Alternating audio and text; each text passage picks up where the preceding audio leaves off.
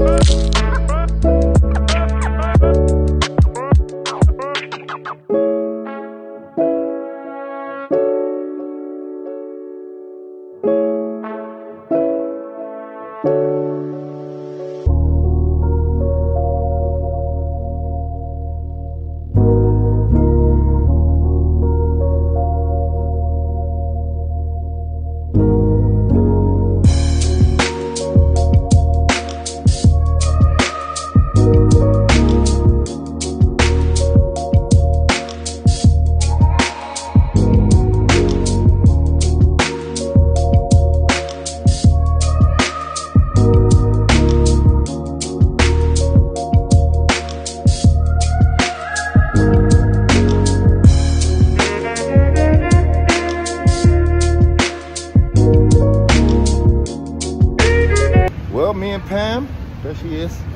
we're making our way back to Oaktown. You heard me?